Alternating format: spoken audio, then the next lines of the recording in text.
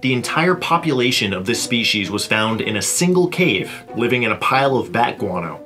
Some samples were brought back to the Harvard Museum of Comparative Zoology to be officially described, and they were given the genus name Simandoa on account of the Simandou region where they were discovered, and the species name Conservaria to honor the need to conserve this incredibly delicate species. This is where things get kind of rough. Along with having rich biodiversity, the Simandou mountain range is also very rich in valuable minerals like iron ore and bauxite, and shortly after the roaches were discovered, the cave system that they were found in was demolished during a bauxite mining operation.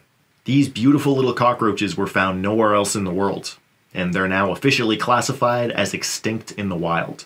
The silver lining is that this species continues to live on under human care, and cockroach enthusiasts like myself continue to breed and share colonies to ensure that the species survives even though their habitat was destroyed.